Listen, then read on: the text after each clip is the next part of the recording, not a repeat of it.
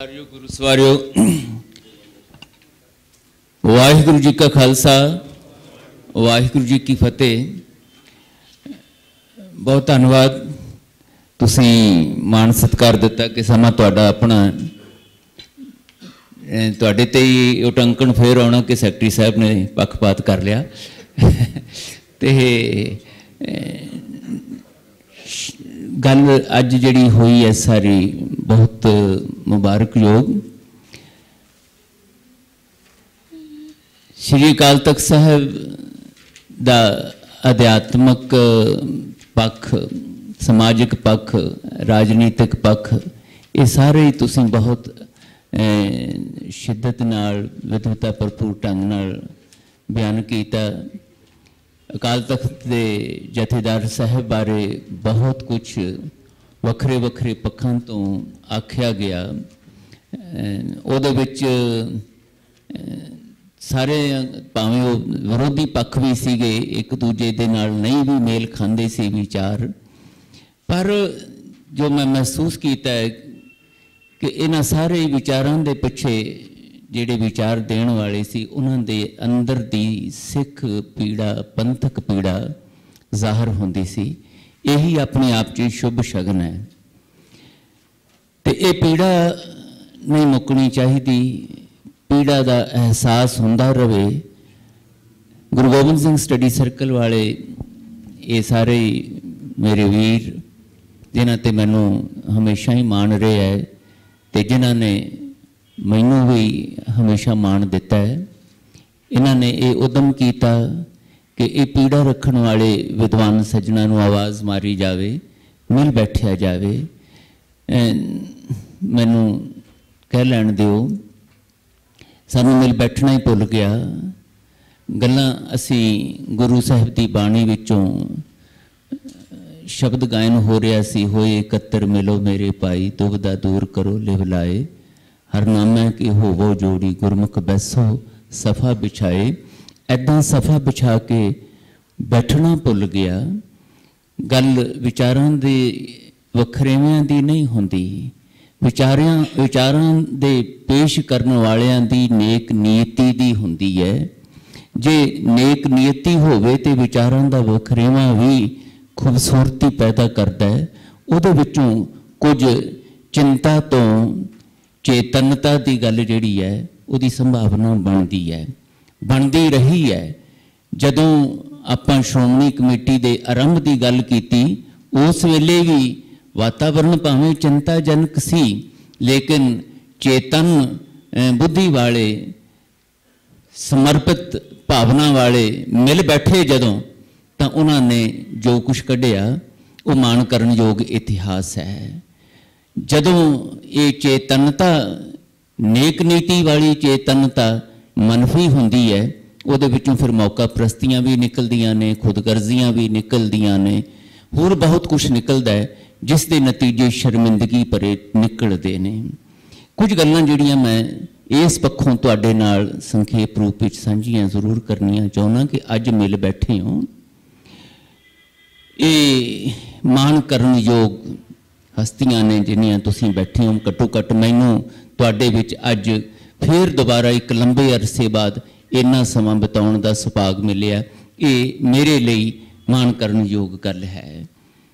ਜਦੋਂ ਪਾਤਸ਼ਾਹ ਜੀ ਨੇ ਤਖਤ ਸਾਹਿਬ ਦੀ ਸੇਵਾ ਬਖਸ਼ਿਸ਼ ਕੀਤੀ ਹੋਈ ਸੀ, ਉਸ ਵੇਲੇ ਆਵਾਜ਼ਾਂ ਮਾਰਦਾ ਰਿਹਾ ਮੈਂ ਤੁਹਾਨੂੰ ਤੇ ਤੁਸੀਂ ਉਹ ਆਵਾਜ਼ ਨੂੰ ਹੁੰਗਾਰਾ ਦਿੰਦੇ ਰਹੇ ਹੋ। ਬਹੁਤ ਕੁਝ ਸੁਖਾਵਾਂ ਉਸ ਅਣਸੁਖਾਵੇਂ ਵਾਤਾਵਰਣ ਵਿੱਚੋਂ ਵੀ ਨਿਕਲਿਆ ਸੀ। ਅੱਜ ਜਿਸ ਵਿਸ਼ਵ ਵਿਸ਼ਵ ਸਿੱਖ ਕੌਂਸਲ ਦੀਆਂ ਗੱਲਾਂ ਤੁਸੀਂ ਕੀਤੀਆਂ ਨੇ, ਉਹ ਵਿਸ਼ਵ ਸਿੱਖ ਕੌਂਸਲ ਦਾ ਸੁਪਨਾ ਉਸ ਵੇਲੇ ਗੁਰੂ ਨੇ ਮਨ ਚ ਪਾਇਆ ਸੀ। ਔਰ ਮੈਂ ਤੁਹਾਨੂੰ ਇਹ ਦੱਸਾਂ,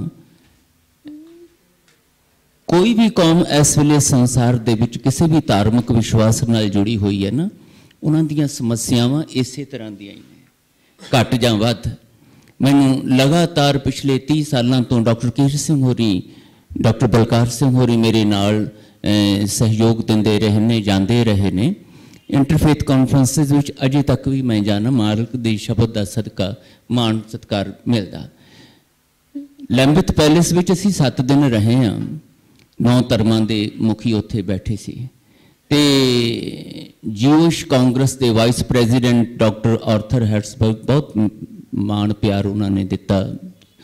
ਬਹੁਤ ਨੇੜਤਾ ਵੀ ਸੀ ਉੱਥੇ ਲੈਂਬਲ ਲੈਂਬਥ ਪੈਲੇਸ ਦੇ ਵਿੱਚ ਹੀ ਬੈਠ ਕੇ ਗੱਲਾਂ ਕਰਦੇ ਆ। ਉਹਨਾਂ ਨੇ ਮੈਨੂੰ ਇਹ ਝੰਜੋੜਿਆ ਸੀ, ਕਿਹਾ ਸੀ ਕਿ ਤੁਸੀਂ ਕਰਦੇ ਕਿਉਂ? ਅਸੀਂ ਵੀ ਮਾਰਸ਼ਲ ਕੌਮ ਆ, ਤੁਸੀਂ ਵੀ ਮਾਰਸ਼ਲ ਕੌਮ ਹੋ। ਅਹ ਅਸੀਂ 2000 ਸਾਲ ਦੇ ਸੰਘਰਸ਼ ਵਿੱਚੋਂ ਇਜ਼ਰਾਈਲ ਕੱਢ ਲਿਆ ਆਪਣੇ ਲਈ। ਤੁਸੀਂ ਕਿਉਂ ਨਹੀਂ ਕੁਝ ਇਸ ਤਰੀਕੇ ਨਾਲ ਸਿਰ ਜੋੜ ਕੇ ਬੈਠਦੇ? ਅਸੀਂ ਤੁਹਾਡੇ ਨਾਲ ਆਰਥਿਕ ਪੱਖੋਂ ਵੀ ਸਹਿਯੋਗ ਕਰਨ ਵਾਸਤੇ ਤਿਆਰ ਹਾਂ। ਹੋਰ ਵੀ ਜਿਹੜੇ ਪੱਖਾਂ ਤੋਂ ਤੁਸੀਂ ਸਾਡੇ ਕੋਲੋਂ ਸਹਿਯੋਗ ਲੈਣਾ ਚਾਹੋ, ਤੁਸੀਂ ਲੈ ਸਕਦੇ ਹੋ। ਪਰ ਤੁਸੀਂ ਮਿਲ ਬੈਠ ਕੇ ਕਿਉਂ ਨਹੀਂ ਇਸ ਤਰੀਕੇ ਨਾਲ ਵਿਚਾਰ ਵਟਾਂਦਰੇ ਕਰਦੇ?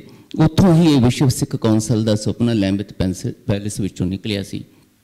ਉਹ ਠੀਕ ਹੈ ਕਈ ਵਾਰੀ ਕਰਤਾ ਪੁਰਖ ਦੇ ਹੁਕਮ ਵਿੱਚ ਕੁਝ ਹੋਰ ਨਾ, ਹੋਰ ਦਾ ਹੋਰ ਰੂਪ ਬਣ ਜਾਂਦਾ ਹੈ। ਸ਼੍ਰੋਮਣੀ ਗੁਰਦੁਆਰਾ ਪ੍ਰਬੰਧਕ ਕਮੇਟੀ ਦੇ ਉਸ ਸੰਵਿਧਾਨਕ ਸੀਮਾਵਾਂ ਵਾਲੇ ਰੂਪ ਦੇ ਕਰਕੇ ਸ਼੍ਰੋਮਣੀ ਗੁਰਦੁਆਰਾ ਪ੍ਰਬੰਧਕ ਕਮੇਟੀ ਬਹੁਤ ਕੁਝ ਨਹੀਂ ਕਰ ਸਕਦੀ ਉਸ ਤਰ੍ਹਾਂ ਦਾ, ਜਿਸ ਤਰ੍ਹਾਂ ਦਾ ਤੁਸੀਂ ਉਹਦੇ ਕੋਲੋਂ ਆਸ ਰੱਖਦੇ ਹੋ।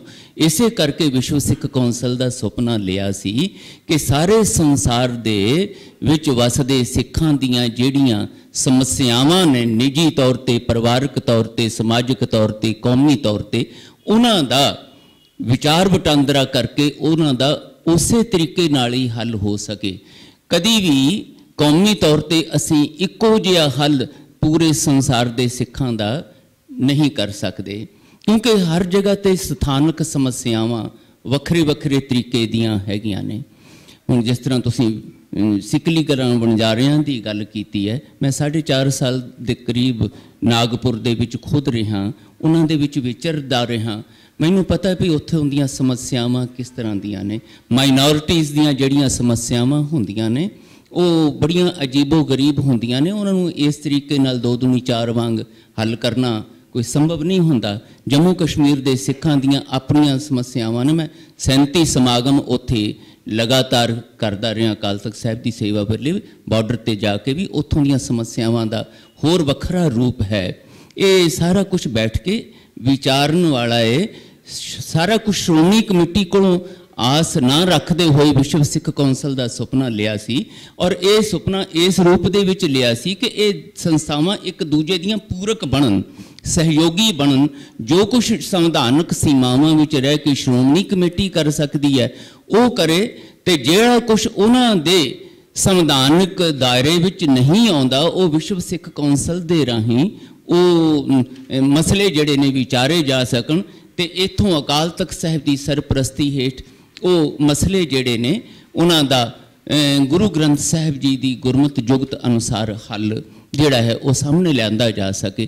ਉਹ ਸੰਭਾਵਨਾਵਾਂ ਮਰੀਆਂ ਨਹੀਂ, ਸੁਪਨੇ ਮਰਦੇ ਨਹੀਂ ਹੁੰਦੇ। ਬੇਸ਼ੱਕ ਹੁਣ ਇੰਗਲੈਂਡ ਦੇ ਵਿੱਚ ਵਿਸ਼ਵ ਸਿੱਖ ਕੌਂਸਲ ਬਣ ਗਈ, ਚੰਡੀਗੜ੍ਹ ਦੇ ਵਿੱਚ ਵਿਸ਼ਵ ਸਿੱਖ ਕੌਂਸਲ ਬਣ ਗਈ।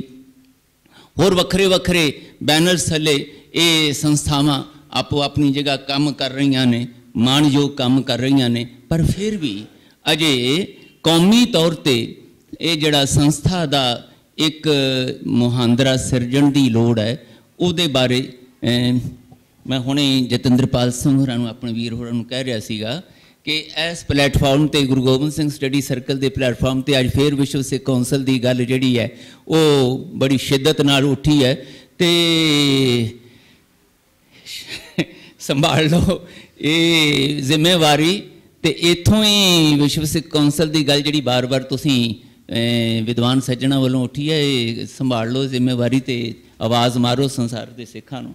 ਤੇ ਕੋਈ ਉਦਮ ਉਪਰਾਲਾ ਕਰ ਲਓ, ਬੰਨ ਨੂੰ ਬੰਨ ਲਓ। ਮੈਂ ਬਾਹਰ ਜਾਣਾ ਹੁਣ ਵੀ ਮੇਰੇ ਕੋਲੋਂ ਪੁੱਛਦੇ ਨੇ। ਨਿਊਜ਼ੀਲੈਂਡ ਗਿਆ, ਕੈਨੇਡਾ ਗਿਆ, ਮੇਰੇ ਜਿਹੜੇ ਵਿਰੋਧ ਕਰਨ ਵਾਲੇ ਸੱਜਣ ਸੀਗੇ, ਉਹ ਵੀ ਮੈਨੂੰ ਮਿਲ ਕੇ ਕਹਿੰਦੇ ਰਹੇ ਨੇ, ਸਿੰਘ ਸਾਹਿਬ, ਉਸ ਵੇਲੇ ਉਹ ਸਮਾਂ ਸੀਗਾ ਅਸੀਂ ਨਹੀਂ ਸਮਝ ਸਕੇ, ਅੱਜ ਪਛਤਾਉਨੇ ਆ ਕਿ ਦੁਬਾਰਾ ਉਹ ਵਿਸ਼ਵ ਸਿੱਖ ਕੌਂਸਲ ਵਾਲੀ ਸੰਸਥਾ ਦਾ ਕੋਈ ਸੁਪਨਾ ਦੁਬਾਰਾ ਨਹੀਂ ਸਾਕਾਰ ਹੋ ਸਕਦਾ? ਤੇ ਮੈਂ ਉਹਨਾਂ ਨੂੰ ਇਹੀ ਗੱਲ ਵੀ ਸੁਪਨੇ ਮਰਦੇ ਨਹੀਂ ਹੁੰਦੇ, ਜਦੋਂ ਗੁਰੂ ਦੇ ਪਿਆਰ ਦੇ ਵਿੱਚ, ਕੌਮ ਦੇ ਪਿਆਰ ਵਿੱਚ ਤੁਸੀਂ ਕੁਝ ਕਰਨ ਦਾ ਹੌਸਲਾ ਕਰਦੇ ਹੋ, ਠੀਕ ਹੈ ਉਤਰਾ ਚੜਾ ਆਉਂਦੇ ਨੇ। ਮੈਂ ਅੱਜ ਦੀ ਇਸ ਸਭਾ ਦੇ ਵਿੱਚੋਂ, ਵਿਦਵਾਨਾਂ ਦੀ ਸਭਾ ਵਿੱਚੋਂ ਉਹ ਸੰਭਾਵਨਾਵਾਂ ਦੇਖ ਰਿਹਾ ਹਾਂ। ਮੈਂ ਤੁਹਾਡੇ ਕੋਲੋਂ ਇੱਕ ਬੇਨਤੀ ਕਰਕੇ ਮੰਗ ਕਰਨੀ ਚਾਹੁੰਦਾ ਦੇਖੋ, ਆਗੂ ਦੇ, ਡਾਕਟਰ ਸਾਹਿਬ, ਆਗੂ ਲਫ਼ਜ਼ ਨੂੰ ਵੀ ਪਰਿਭਾਸ਼ਿਤ ਕਰ ਲਓ। ਅਸੀਂ ਆਗੂ ਲਫ਼ਜ਼ ਦਾ ਵੀ ਨੇਤਾ, ਲਫ਼ਜ਼ ਦਾ ਵੀ ਬੜਾ ਅਜੀਬੋ-ਗਰੀਬ ਰੂਪ ਦਿੱਤਾ। ਇੱਥੇ ਵੀ ਮੈਂ ਅੱਜ ਸੁਣਦਾ ਪਿਆ ਸੀ, ਅਕਾਲ ਤਖਤ ਦੇ ਜਹੇਦਾਰ ਸਾਹਿਬ ਬਾਰੇ ਬਹੁਤ ਸਾਰੀਆਂ ਨਕਾਰਾਤਮਕ ਗੱਲਾਂ ਵੀ ਸੁਣਨ ਨੂੰ ਮਿਲੀਆਂ ਨੇ, ਸਕਾਰਾਤਮਕ ਸੁ- ਵੀ ਮਿਲਣ ਨੂੰ, ਸੁਣਨ ਨੂੰ ਮਿਲੀਆਂ ਨੇ। ਸ਼੍ਰੋਮਣੀ ਗੁਰਦੁਆਰਾ ਪ੍ਰਬੰਧਕ ਕਮੇਟੀ ਉਹਨਾਂ ਦੇ ਜਿਹੇ ਪ੍ਰਧਾਨ ਉਹ ਵੀ ਆਗੂ ਨੇ ਅਕਾਲੀ ਦਲ ਦੇ ਪ੍ਰਧਾਨ ਉਹ ਵੀ ਆਗੂ ਨੇ ਅਕਾਲ ਤਖਤ ਸਾਹਿਬ ਵੀ ਜਥੇਦਾਰ ਸਾਹਿਬ ਆਗੂ ਨੇ। ਪਰ ਜੋ ਕੁਝ ਰੂਪ ਬਣ ਗਿਆ ਹੈ, ਮੈਂ ਤੁਸੀਂ ਆਪ ਹੀ ਸਾਰਿਆਂ ਨੇ ਵਿਸਥਾਰ ਦਿੱਤਾ। ਆਗੂ ਲਫ਼ਜ਼ ਨੂੰ ਪਰਿਭਾਸ਼ਿਤ ਕਰ ਲਓ ਜਥੇਦਾਰ ਲਫ਼ਜ਼ ਨੂੰ ਪਰਿਭਾਸ਼ਿਤ ਕਰ ਲਓ। ਅਸੀਂ ਜਥੇਦਾਰ ਸਾਹਿਬ ਦਾ ਜਿਹੜਾ ਇੱਕ ਸਿਧਾਂਤਕ ਸੀਗਾ ਰੂਪ ਜਿਹੜਾ ਸ੍ਰੀ ਗੁਰੂ ਹਰਗੋਬਿੰਦ ਸਾਹਿਬ ਮਹਾਰਾਜ ਦੇ ਵੇਲੇ ਸਾਹਮਣੇ ਆਇਆ ਸੀ, ਭਾਈ ਸਾਹਿਬ, ਭਾਈ ਗੁਰਦਾਸ ਜੀ ਨੂੰ ਇਤਿਹਾਸ ਨੇ ਪਹਿਲਾ ਸ੍ਰੀ ਗੁਰੂ ਹਰਗੋਬਿੰਦ ਸਾਹਿਬ ਰਾਹੀਂ ਥਾਪਿਆ ਹੋਇਆ ਜਥੇਦਾਰ ਇਹ ਇਤਿਹਾਸ ਨੇ ਇਸ ਦਾ ਜ਼ਿਕਰ ਕੀਤਾ ਹੈ ਔਰ ਉਸ ਤੋਂ ਬਾਅਦ ਭਾਈ ਸਾਹਿਬ, ਭਾਈ ਮਨੀ ਸਿੰਘ ਜੀ ਜਿਹੜੇ ਅਕਾਲ ਤਖਤ ਦੇ ਤੇ ਸ੍ਰੀ ਹਰਿਮੰਦਰ ਸਾਹਿਬ ਦੇ ਜਥੇਦਾਰ ਵੀ ਤੇ ਮੁੱਖ ਗ੍ਰੰਥੀ ਸਾਹਿਬ ਵੀ ਮਾਤਾ ਸੁੰਦਰੀ ਜੀ ਦੇ ਰਾਹੀਂ ਸਥਾਪਿਤ ਕੀਤੇ। ਇਹ ਇਤਿਹਾਸ ਨੇ, ਇਹ ਸੰਭਾਲੇ ਹੋਏ ਨੇ ਜਿਹੜੇ ਵਾਕਿਆਤ ਨੇ। ਫਿਰ ਬਾਬਾ ਗੁਰਬਖਸ਼ ਸਿੰਘ ਹੋਰੀ, ਇਹ ਪਰੰਪਰਾ ਇਸ ਤਰ੍ਹਾਂ ਚੱਲੀ। ਇਹ ਠੀਕ ਹੈ ਕਿ ਉਹ ਮਹਾਨ ਬ੍ਰਹਮ ਗਿਆਨੀ ਗੁਰਸਿੱਖਾਂ ਨੇ ਜ਼ਿੰਮੇਵਾਰੀਆਂ ਜਦੋਂ ਨਿਭਾਈਆਂ ਤੇ ਗੁਰਬਾਣੀ ਨੂੰ ਆਧਾਰ ਬਣਾ ਕੇ ਗੁਰੂ ਪੈ ਦੇ ਵਿੱਚ ਪੰਥਕ ਪਿਆਰ ਦੇ ਵਿੱਚ ਨਿਭਾਈਆਂ, ਉਹਦੀ ਕੀਮਤ ਵੀ ਉਹਨਾਂ ਨੇ ਦਿੱਤੀ। ਉਸ ਦਾ ਰੂਪ ਬਦਲਦਾ ਗਿਆ। ਬਹੁਤ ਕੁਝ ਅਣਸੁਖਾਵਾਂ ਵੀ ਹੋਇਆ, ਪਰ ਇਹ ਗੱਲ ਆਪਣੇ ਆਪ ਵਿੱਚ ਮਾਣ ਕਰਨ ਯੋਗ ਹੈ ਕਿ ਅਕਾਲ ਤਖਤ ਸਾਹਿਬ ਸਿੱਖ ਮਾਨਸਿਕਤਾ ਵਿੱਚੋਂ ਕਦੀ ਵੀ ਮਨਫੀ ਨਹੀਂ ਹੋਇਆ।